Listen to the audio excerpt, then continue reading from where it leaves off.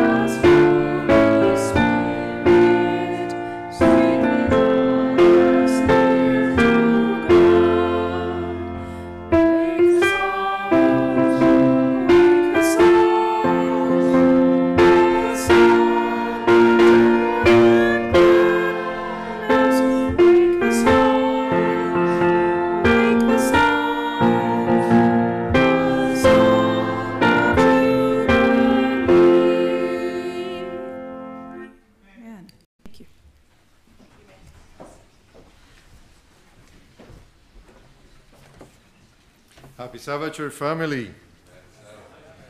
It is good to be home. I was away for two weeks for my regular school classes, and outside is nice, but home is better. I went to church there, but let me tell you, what, what makes a difference from, from a place to be a regular place or to be home? What makes a difference from a house to your home or from a church to your home. It's the, the people, it's the love, it's the fellowship, it's the relationship, it's the warmth, it's the little details. So many of us, we don't have probably a home established, but we do have all one common relationship with Jesus. And the beauty of Jesus being available for all of us as our brother, as our creator, as our Lord, is that wherever we go, as long as we are with Jesus, we are home. So, welcome home. Can you turn around and just say, Welcome home to the other person?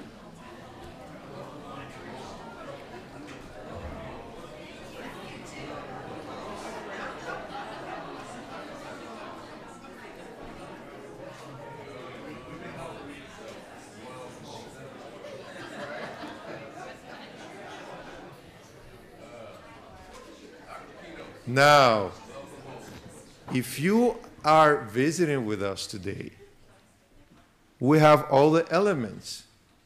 We have the place, we have the loving, warm people, and we have Jesus. So please be welcome to this, your home, from now on, because today you're visiting. Next time, your family. All right? I do have some announcements. Uh, today we have the first reading for Miss Eileen Lee. She's transferring out to the Korean church. So we're just uh, announcing this as the first reading. The next week we're going to vote for this. And um, Psalm 127 1 says, Unless the Lord builds the house, its builders labor in vain.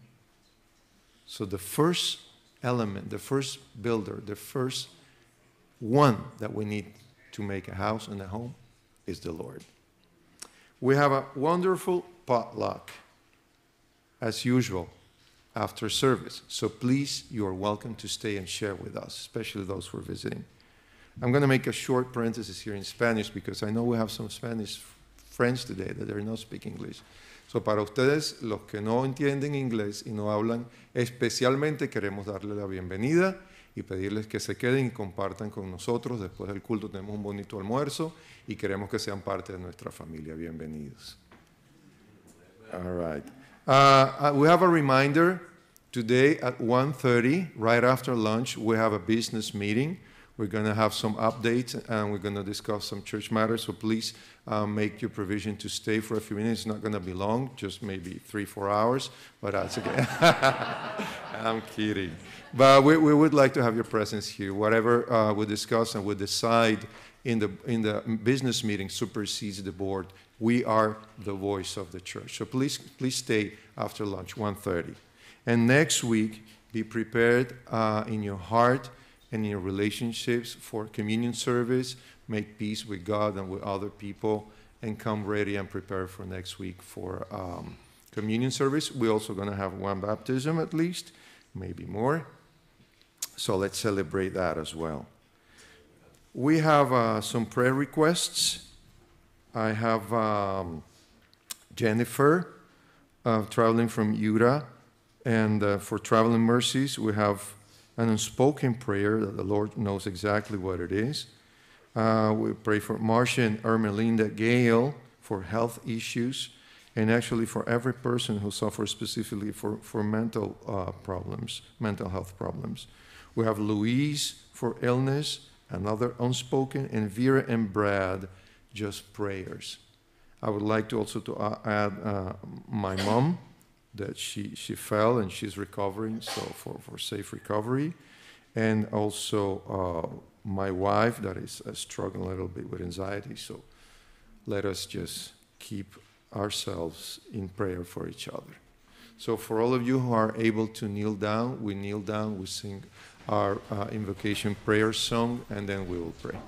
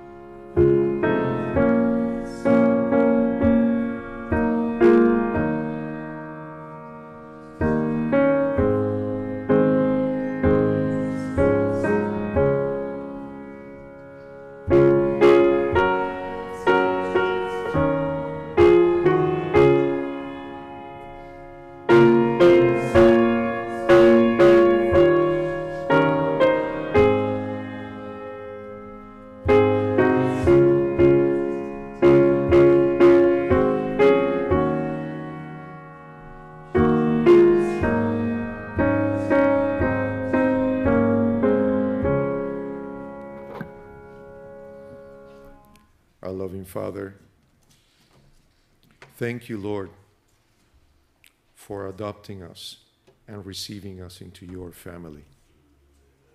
Whenever you are, Lord, their home is. So thank you, Lord, for make us feel and be at home. Lord, today we come here to worship you to humbly present our lives, our minds, our thoughts, our deeds before you.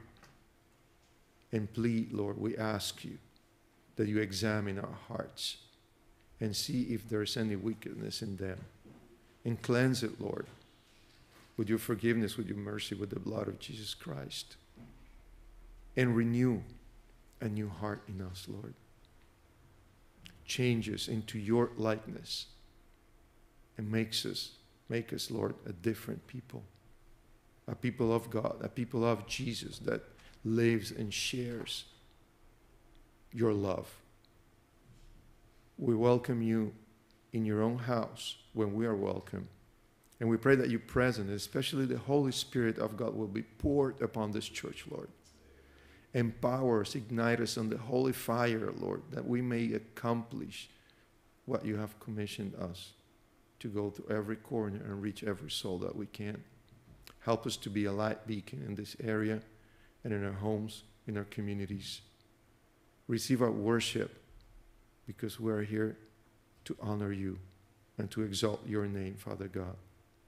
We also bring before you our needs and our petitions because only you can take care of all of them and, and, and resolve them in the perfect way. You heard the names and the prayers, Lord.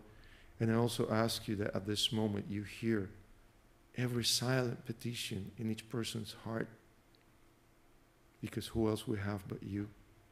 And you are sufficient. Thank you, Lord, for hearing our prayer.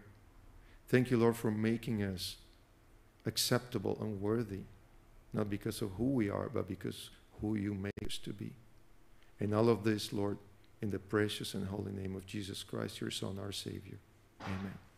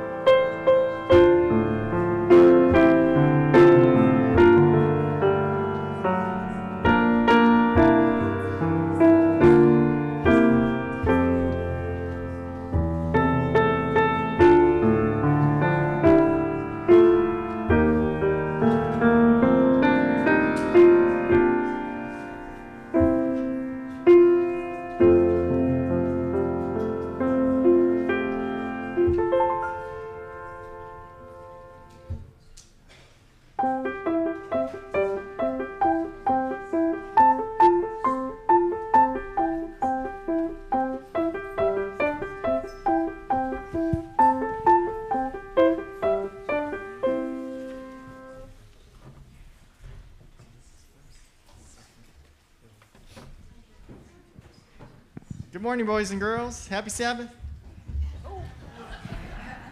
Woo, made it. All right. Last week, Sheldon talked about the, um, the seven days of creation and how God just spoke the words and things appeared. But with humans, he actually formed them with his hands and he breathed life into them. Now, do you guys remember what was created on the fifth day? I'm sorry. Yeah, the fifth day. What was created on the fifth day? Do you guys remember?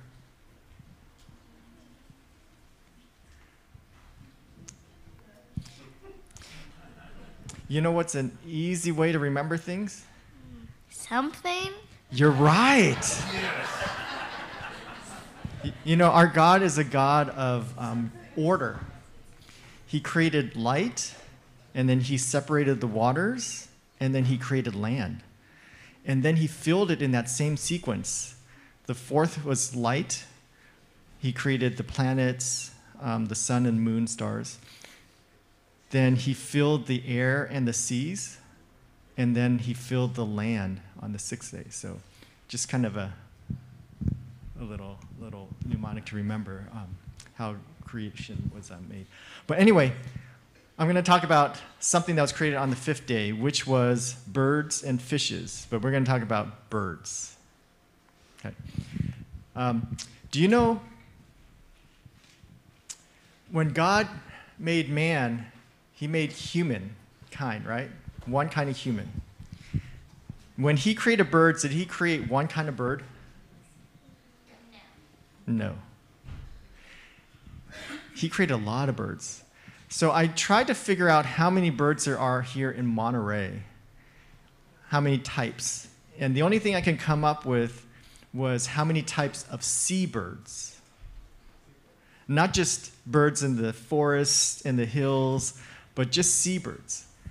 Any guess on how many kind of seabirds there are in Monterey Bay? Types. 32? 32. A little higher. Uh, one? A little higher than one. 64. A little higher than 64. There are 90 types of seabirds in the Monterey Bay alone. 90 types of seabirds. And that doesn't include sparrows and pigeons and other birds that are on land. Now, I'm going to have one of my assistants come here. Can you open this up and show the kids what you have here? What do you think this is? Some bird's nest. If you look closely, you'll see there's white here and brown here. That's probably from a horse to make the nest soft. Okay, so look at, look at what else is on there. You see little twigs and different things that are made to make this nest for this bird. So it's probably a smaller bird, right? Okay. Now, my next assistant, can you show what you have here? It is a bird's nest, but look at what this is made out of. It's like bigger branches and sticks. There's different kinds of birds, right? Okay. Now, can you, can you hold this one? With two hands. Yeah. Okay, so what do you think this is? It's not a sock. It's actually a bird's nest as well. And if you look closely, you'll see a little hole here. This is probably some kind of weaver bird. This was also found in this area in Monterey. And the last one, my favorite.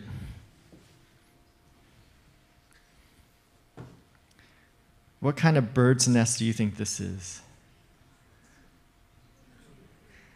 It's a hummingbird nest.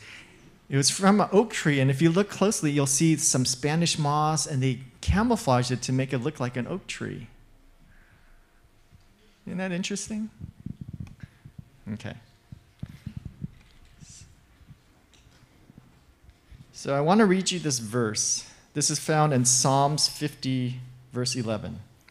I know all the birds of the mountains, and the wild beasts of the field are mine. Now, how many birds does God know in the mountains? All the birds. Now, do you know how many birds there are in the world?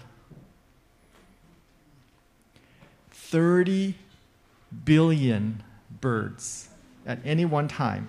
For every human, there's six birds. That's a lot of birds. And God knows all the birds.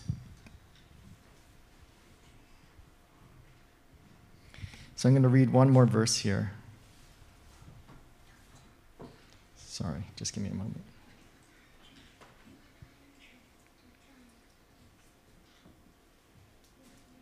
Okay, this is found in Matthew 6 26. Look at the birds of the air, for they neither sow nor reap nor gather into barns, yet your heavenly Father feeds them. They, are you not of more value than they? So, God knows all 30 billion birds, maybe even by name. How did God create us? Did He just speak the words? He formed us. We are very special to Him. If God knows the birds, how much more does He know you? So, whenever you are worried or stressed out, just remember God loves you so much. He knows everything about you. All you have to do is pray. Okay? All right. Let's bow our heads for a moment. Dear Lord, we thank you for our blessings. We thank you for loving us so much, and that whenever we need, whenever we need you, whenever we are worried, we can just pray, and you will take care of us. Thank you for hearing our prayer. In your name we pray. Amen.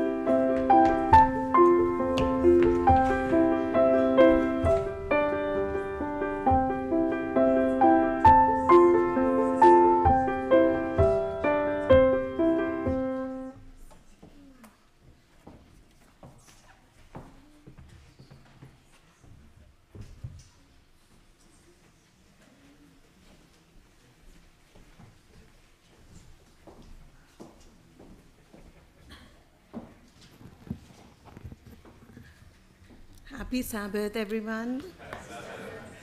And uh, let's prepare ourselves to hear the word of God, and um, so that it sinks into our mind, soul, and heart.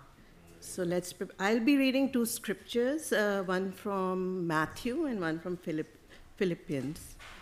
So the first one is from Matthew chapter 28, and I'm reading verses 19 to 20. Therefore, go and make disciples of all nations, baptizing them in the name of the Father and of the Son and of the Holy Spirit, and teaching them to obey everything I have commanded you, and surely I with you I will be with you always to the very end of the age.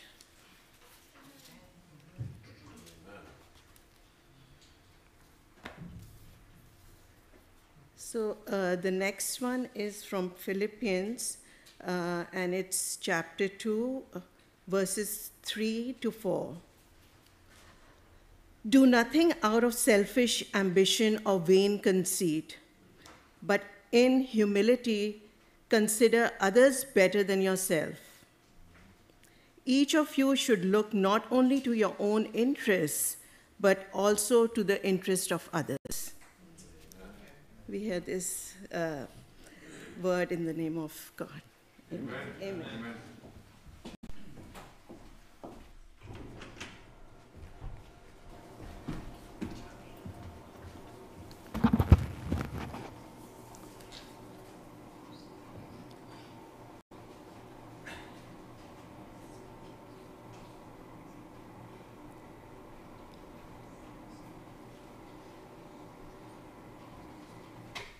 Uh, this morning it's my privilege to introduce or maybe reintroduce Dr. Elissa Kido.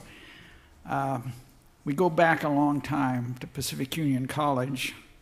Um, I figured out once that I had been in formal education for 27 years, starting from the first grade until I finished my last residency. And of those years, 24 of them were spent in Adventist institutions. I have a great debt, I owe a great debt to Adventist education. I don't think I'd even be a physician if it weren't for Adventist education. Now, you know, when you're you've known somebody this long, you're tempted to reminisce and say things that maybe you shouldn't. So I'm not going to do that. Uh, but I just want you to uh, note the bio of which has been supplied. Uh, Ellis has been a real champion for Christian education. And uh, we're really privileged to have her speak to us. And uh, this is the third time she's been here, but I hope it won't be the last. Dr. Kido.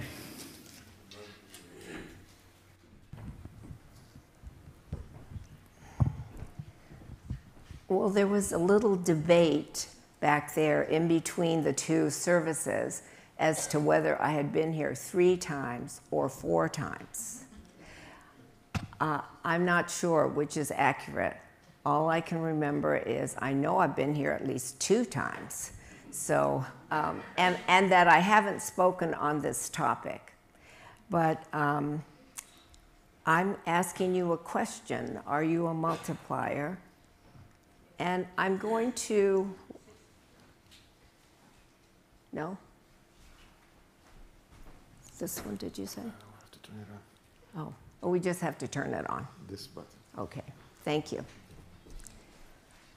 So I, uh, I work at La Sierra University, but I have the privilege of volunteer teaching at one of our small schools in Moreno Valley, California. And I say small because I think it has maybe 32 students for two classrooms. And I happen to be the um, volunteer to teach the eighth graders writing. I have five eighth graders in my class. And I tell you that because we have been working on using sources. And I said to them, and I taught them, now there are different kinds of ways to use sources, but a lot of beginning writers tend to plagiarize.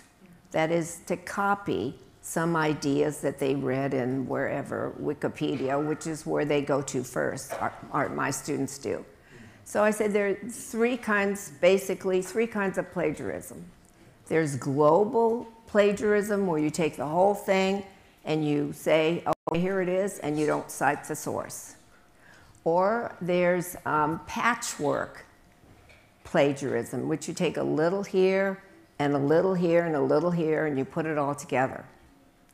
And then there's incremental plagiarism, where you do one here and then two here and then three here, incremental. And uh, so this morning, my five eighth graders would be surprised to hear me say, I have committed plagiarism. and uh, I'll tell you why. I want to share with you something from this book called Multipliers. Notice this, the subtitles. What is it? How the best leaders make everyone smarter. How the Best Leaders Make Everyone Smarter by Liz Wiseman. You should ask yourself about that subtitle. Can we really make everyone smarter if we're the right kind of leader? And today, even though she's talking about business people within the business world, I would like to suggest to you that wherever there are two people together, one of you, one of those people is a leader. So, so you could be a mother with your two children and your husband, you could be a leader. Okay? So don't exclude yourself and say, well, she's talking about business. How, how does it apply to me? I'm going to say it applies to all, all of us sitting here in this uh, sanctuary. So she says, you, you can do this. And I want to share with you her ideas, um, sometimes globally, all right? But here we go. All right, Liz Wiseman went to 150, so she included 150 selected leaders in this study. She interviewed at 35 companies, large companies, over four continents, and she conducted these interviews from October 2007 to October 2009. And then she published her first book, 2010, and she subsequently come out with a revision uh, in 2017. So I'm going to share with you what she found out from her research.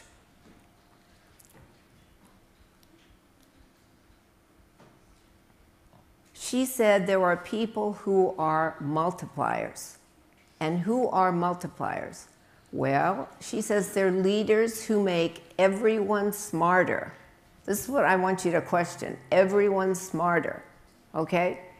They're persons who use their intelligence to amplify and, sorry, I amplify and bring out the smarts and capability of those around them. All right, so amplify and bring out the smarts.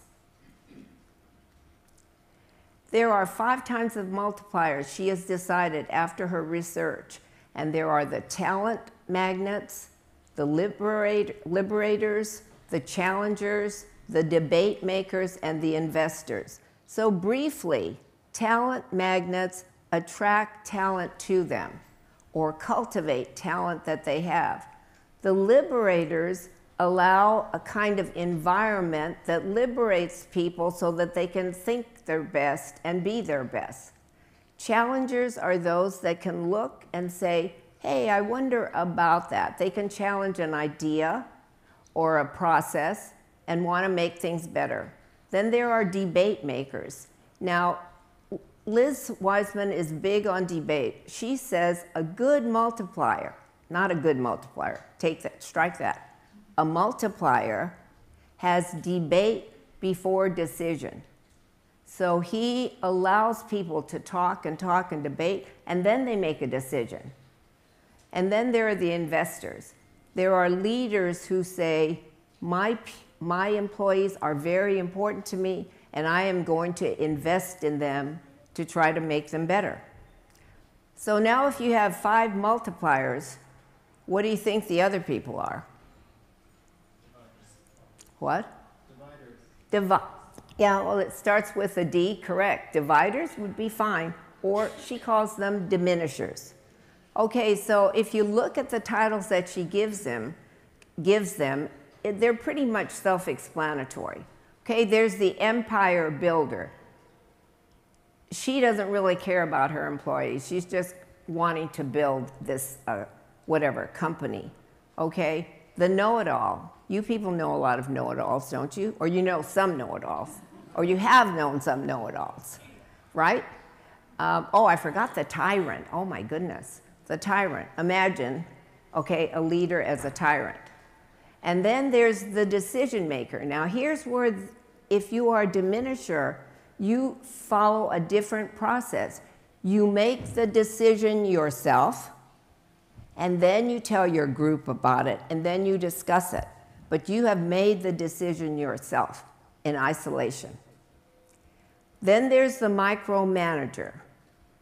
I want you to pay close attention to that micromanager. Do you know people who are micromanagers? Oh, I heard a lot of yes, you do. Could, could I hear that again? Do you know a lot of micromanagers? Oh, okay, very good. All right, they're kind of easy to identify, right? Micromanagers. All right, so now I'm not going to go over the description because the titles, I think, say it all. The identifiers say it all.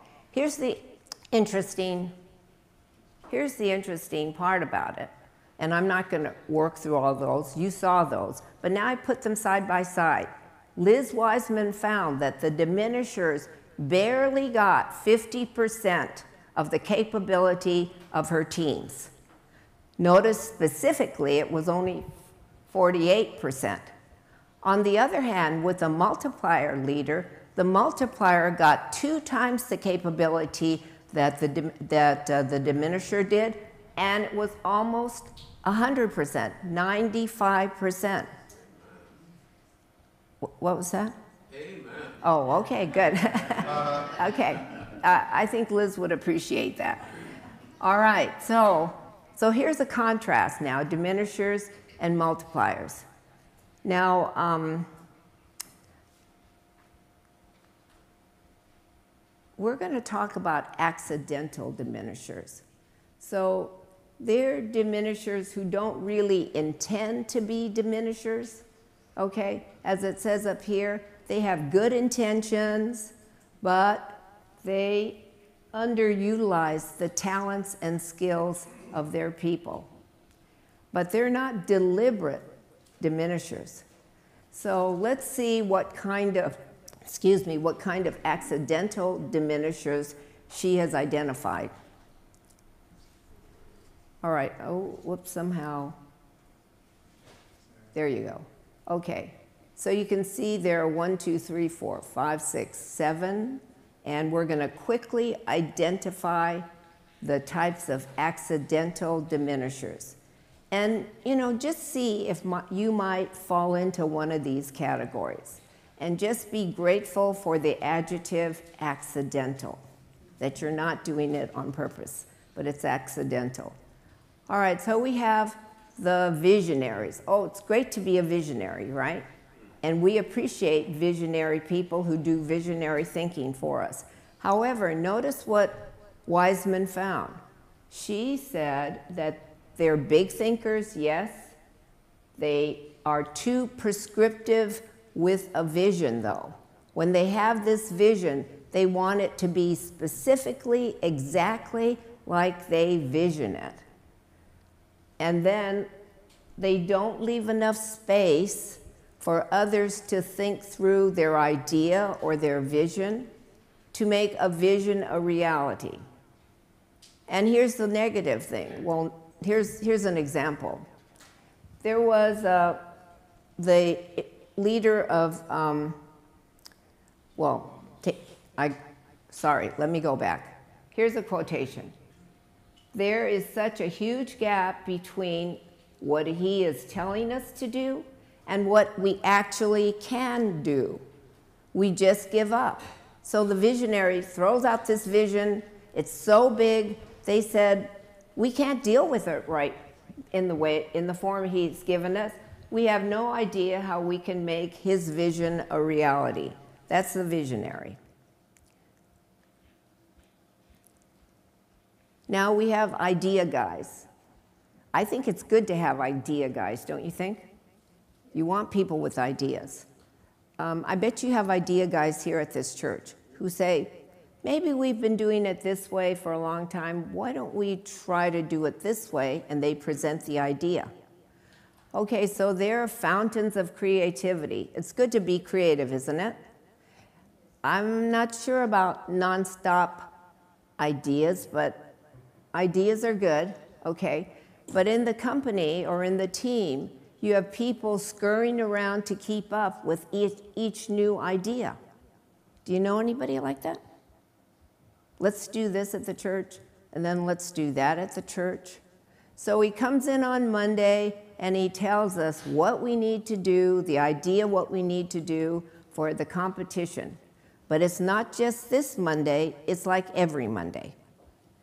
And then there's a new goal to chase every week, each week. That's why every Monday comes with a, a new idea, or she comes in with a new idea. Now, these are, remember, these are accidental diminishers. All right, so they're the optimists. You know, I think that if, this is a sideline, but I think that if you're a Christian, you have to be optimistic. That's just my, you have to have hope and optimism. But, you know, there might be some um, downsides of always being an optimist. They want to create a belief, okay, that the team can do it. But the outcome is people wonder if they appreciate the struggle and the poss possibility of failure. So those who are working with the optimists are saying, I hope that he or she appreciates, if we go forward with this, what the struggle will be, and also that we might fail. There's a possibility of failure. Now we have the rapid responder or the rapid response. They try to keep up their organization on top of everything and they want to move fast. But in moving fast, their organization moves slowly because there's a traffic jam of too many decisions or changes. That's with the uh, rapid responder. Here's the pace setter sets a high standard either, either for quality or pace or quantity, and the outcome is other people become spec, uh, spectators or give up when they see they can't keep up. You know, it's just running so far ahead of us that I just might as well sit down and wait till they come back again.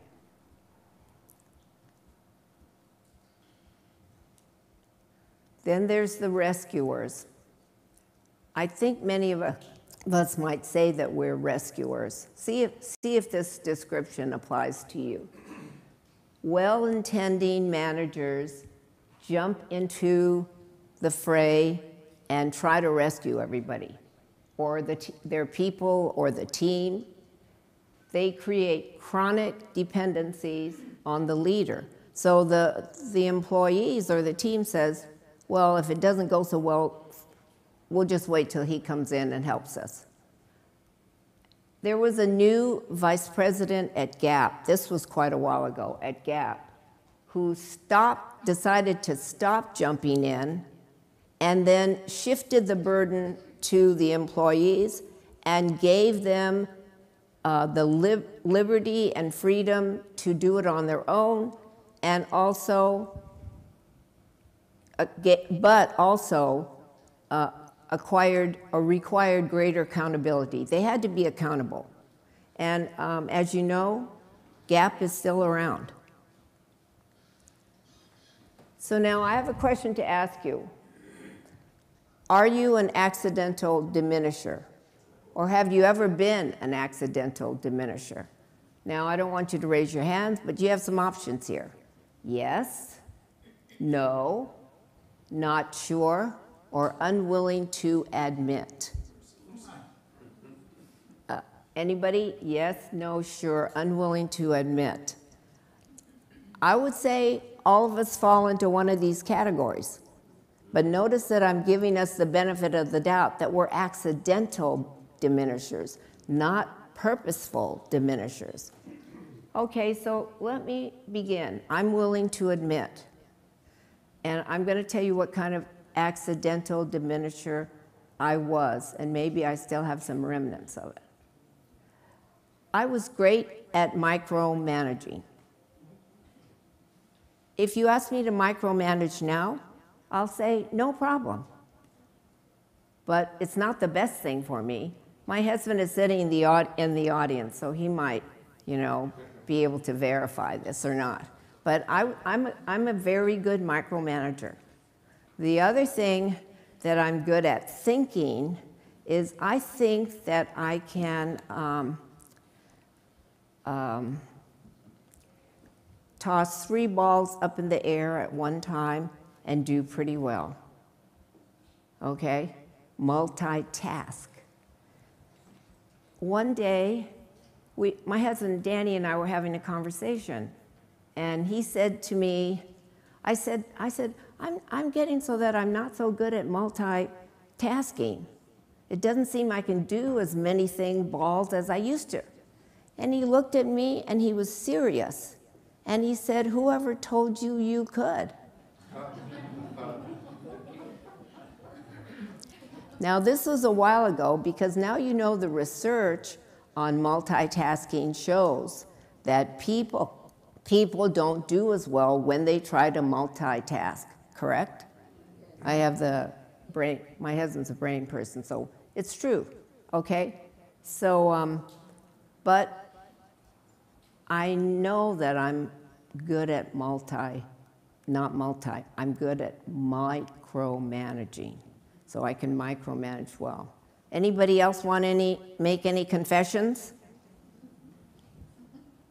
any of these accidental diminishers? Okay. So, um, this concept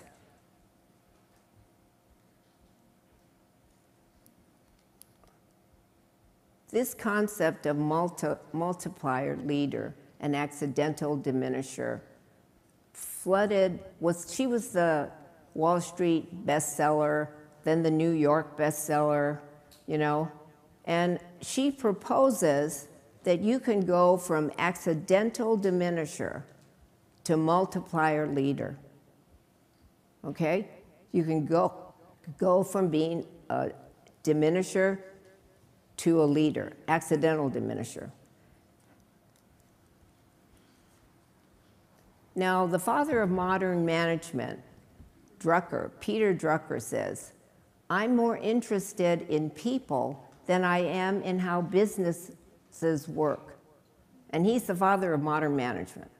Okay? He says, I'm more interested in people. And then something else he says is, leadership is not magnetic personality. That can just be as well be a glib tongue. Leadership is lifting a person's vision to higher sights. Notice that a person's vision to higher sights. Um, I want to pause here and tell you about something that happened yesterday. So, yesterday after morning, with the help of my husband, he arranged to have my, fifth, my five eighth graders tour the medical center at Loma Linda. And the first half was going to be in the Department of Radiology. Um, a radiologist, a radiology physicist did that first hour tour. And then the second hour tour was going to be, um, I don't know what you call him, the administrator of the hospital. Is that what we should call Adrian Cotton? Something like that. Okay, why did we want them, why did I want them to, to go and have this tour? I am teaching in a school that has, stu- has students from low socioecon- socioeconomic uh, environment. They'd never been to a medical center like this. They'd never been to a radiology um, department. So I, I wanted them to see some possibilities because they're eighth graders going to be ninth graders. So we arranged for this tour, and uh, on Tuesday when I meet with them, I'll see how it went. I'm, I'm kind of hoping that it, I'm not hoping, I'm positive it went well. I'm positive it went well. But the, the higher sight that I'm getting, wanting them to do is not just to go to high school, but after high school to go to college. So I would hope that I could help them do that by giving them a vision to higher sights. Now that's Peter Drucker. Now I'm going to move on to ancient times, and this is Jesus. Would you agree that Jesus is a multiplier? Would you agree that Jesus is probably the ultimate multi- multiplier? Okay, so you know, he multiplied the physical stuff, the fishes and the loaves. Yeah? And then he sent those 12 disciples all over the world. They went to Jerusalem, Judea, Samaria, and then to the ends of the world, right? Earth. Now, have any of you been um, watching The Chosen on television? Only one, oh, two. Two. Okay. I've only watched a couple of episodes, and uh, I'm not sure why we didn't watch more, but anyway, we watched a couple. And the, the episodes that we, we saw had to do with the disciples' interaction with one another. Now, you know, of course, that the Bible doesn't record all of that. However, so they have to use a little imagination and creativity and try to figure out what it was that the disciples were might have questions about or arguing about.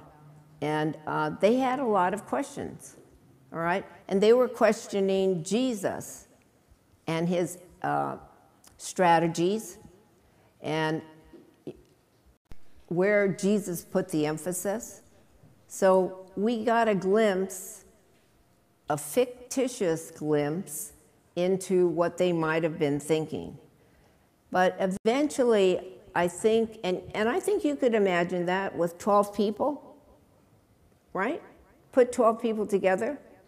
And, um, and yet, look where they initially started, and then from there, they went to the whole world. This is 12.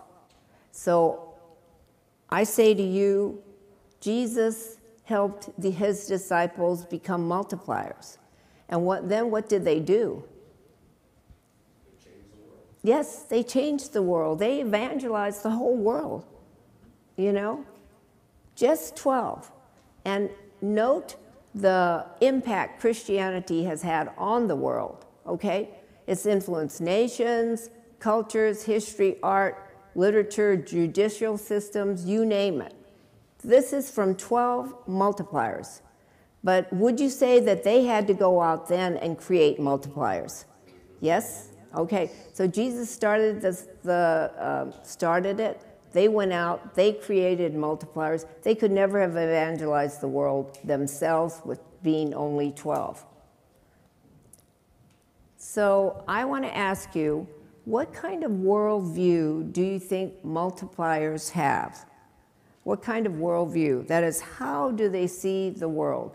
And I want to suggest to you that there are four major worldviews, and they're here. There's feelings first, person is governed by feelings mostly, or there's rules first, governed by rules mostly, and a lot of, I think, religious people are governed by rules. Then there's me first, thinking, oh, excuse me, thinking only of myself, me, me, me.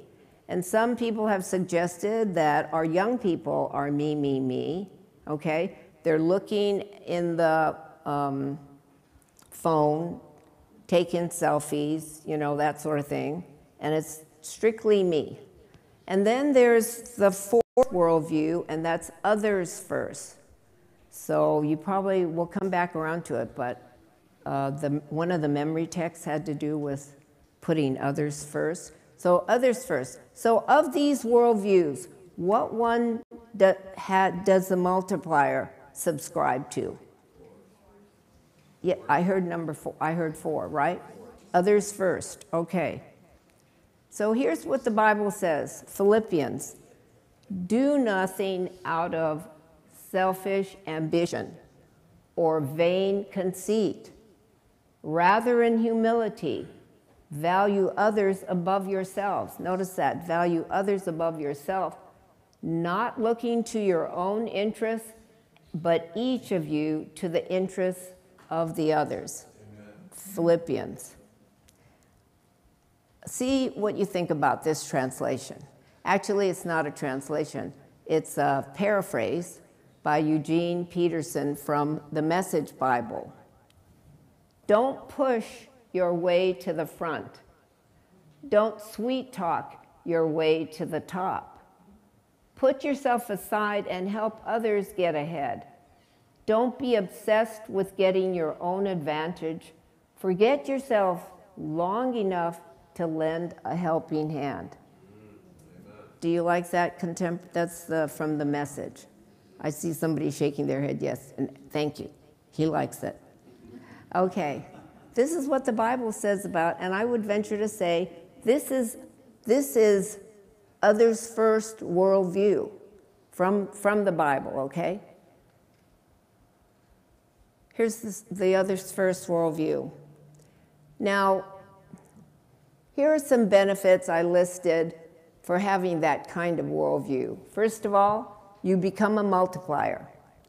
Then you can improve interpersonal relationships.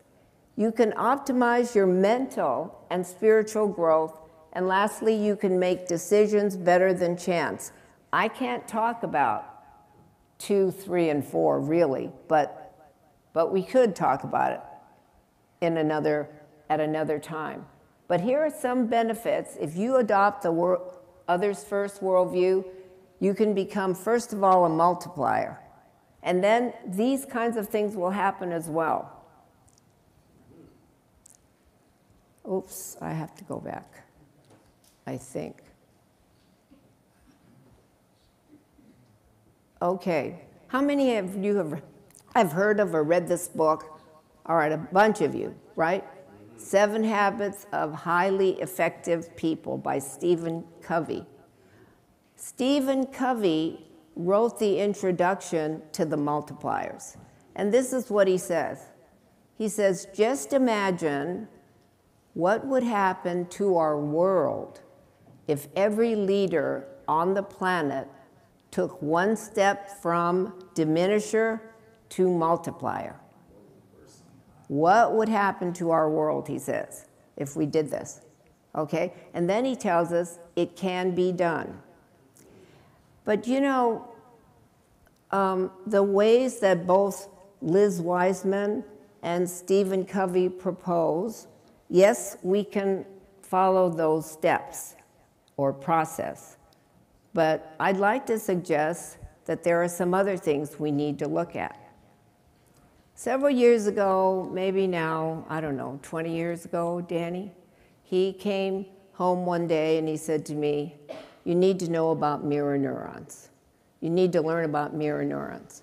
And I said, Why? He said, It'll make all the difference in the world when you approach educating people and trying to help people learn. So, mirror neurons are some very special neurons in our brain that act like mirrors, okay? So, so, whoops. You see the little baby mirroring what the baby sees in the adult, okay?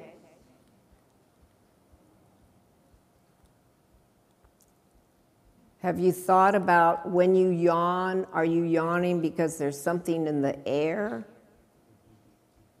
Or that you are seeing a mirror, you're visualizing something and a mirror neuron is happening, okay? I would suggest it's not something in the air. Okay? It's not something in the air. All right. Um, so let's say let's say I don't know how to manipulate this. Uh huh. Okay. So let's just say, you know, Don mentioned that I've been in education for a long time.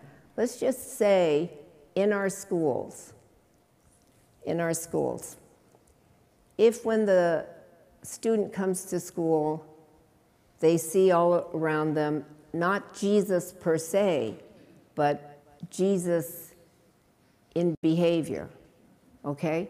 So they say they see people mirroring the kind of behavior that Jesus would engage in. What kind of effect would that have on the students? With always having this mirror image of Jesus, would, could that, would that affect their character? Yes. I think that it would. Um, and so, you know, as I said, Covey and Wiseman talk about, you know, do this, do this, do this, do that, and you can become a multiplier. I'm suggesting to you that it's not as easy as do this, do that. I'm suggesting to you that God has created in our brain mirror neurons that can help us become like Jesus, that can help us become a multiplier. He hasn't just said, you know, do this step and this step. No, He has created our brains so that in fact we can achieve that. Excuse me? Yes, yes, that's the text. By beholding, we become changed, right? So the ultimate multiplier is Jesus. I think we'd all agree on that. And what an impact he had. Now I'm going to leave you with this. Um, Am I in the minute? Am I still okay? Um, I'm going to leave you with this quotation. And since I've been in the mode of confessing today, I have another confession. I didn't know where to put this quotation, but I knew I wanted to, to pass it on to you. I just didn't know where I was going to put it in my PowerPoint. So that's my second confession. I hope you'll forgive me. But it's a great Warren Bennis, he's also from business. He said, None of us is as smart as all of us. How many of you agree with that? Okay, not everybody in this audience agrees with that because most of the people didn't raise their hands. So I'm assuming you don't agree with this, okay? I'm assuming you think, oh no, I'm, I'm smart, nobody is smart as I am. Or Don is smart, but none of us can possibly as smart, you know, but what if Don were to, I think Don is smart. What if Don were to say, hey, let's all get together, okay, and work on this project together? none of us is as smart as all of us. I really believe that. I think the Bible, I think that's a biblical principle, as Jesus showed us, right? Why didn't Jesus just go out and say, forget about those disciples? They're just so much trouble. You know, they're arguing, they're this, they're this. Master, why are you doing this? Why are you doing that? You know? No. He said, none of us, he didn't say this, but none of us is as smart as all of us. All of us together, disciples, he said. When he went up to the Mount of Transfiguration, did he go by himself? No, he took people with him.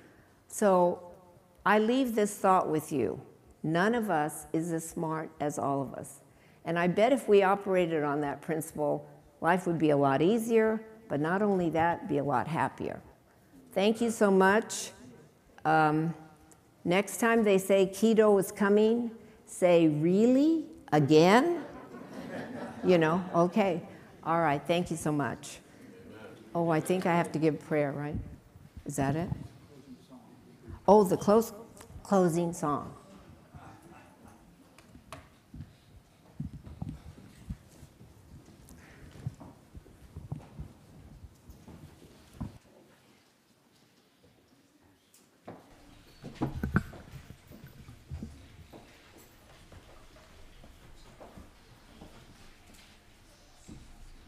Page 573, yes.